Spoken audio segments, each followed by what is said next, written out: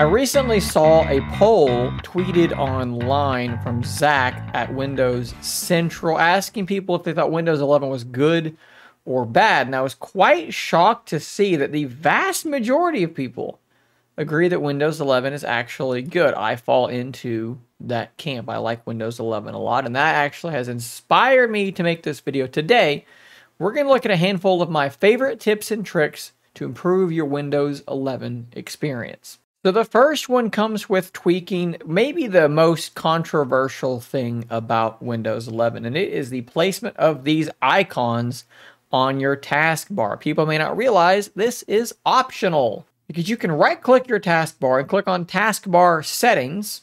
You can click on taskbar behaviors and you can change the alignment from center to left. If you prefer that left alignment that you're so used to from Windows, you are free to do that there. You can also declutter the taskbar from this menu. You probably by default have all of these things on your taskbar. Maybe you don't want them. Maybe you don't want this widgets panel. Well, you can get rid of it. Maybe you don't want the task viewer. You can get rid of that. Maybe you do not use the chat function. You can hide all of these things. And there's also a search box that again, if you don't use, you can hide it, making this look much, much cleaner. You can do a similar thing with the start menu and click on start settings and you can change how many things are pinned versus recommended. By default, you're here in the middle with quite a few things recommended and fewer pinned items shown. I prefer having more of my applications and if I could get rid of the recommendations completely, I would remove them. I don't use that at all.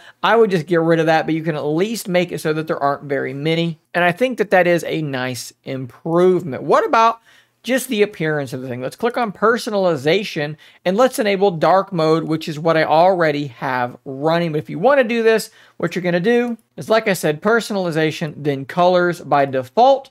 We are on light mode, and I think that, you know, look, it looks okay, right? But for some people, they prefer dark mode. This is where you're going to turn that dark mode on and make that quick change. If you're on a mobile device, a laptop, or a tablet, this might even save you a little bit of battery life. What about ads? Do you want ads inside Windows 11? No, of course you don't. So what you can do about that is you can click on privacy and security, general, and then look for these things here. Show me suggested content in the settings app. How about no? You can also turn off some tracking on all of these things here. Let websites show me locally relevant content by accessing my language list. How about no? Let apps show me personalized ads by using my advertising ID. That one's not going to get rid of ads. In fact, you may want to leave that on because what this will do is it'll make the ads that you're going to see in these apps basically create ads that are more relevant to you. So, you know, bear that in mind. You're still going to see the ads. You want them to be relevant to you and access your data to personalize them, or you want them to just leave you alone and just show you whatever ad they just can randomly generate. That's up to you to decide.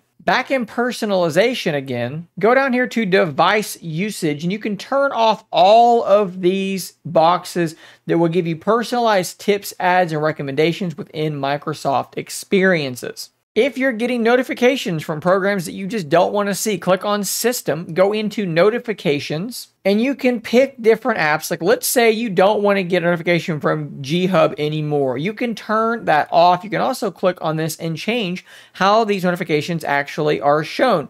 Do you want a banner? Do you want them in the notification center at all? Do you want a sound to be played? You can customize all of this to your heart's content. And again, you can do this per application in this settings menu. One of my favorite applications that I use all the time is the snipping tool. You can use this to take not just screenshots of your desktop, but screenshots of specific parts of your screen. You can also now use it to shoot actual videos, capture videos of portions of your screen as well. Now you can do this either by launching the snipping tool app or by hitting Windows key, Shift, and then S to start that snip. But there's actually another way to do this, and it's found in accessibility. Click on accessibility and then go down to keyboard, and you're looking for use the print screen key to open the snipping tool. That print screen key that no one uses anymore can now be assigned to a much more useful task the snipping tool. Turn that on in this menu. So another thing on the other monitor, I was on my secondary monitor for most of this, is you can actually customize your quick settings menu. So click down here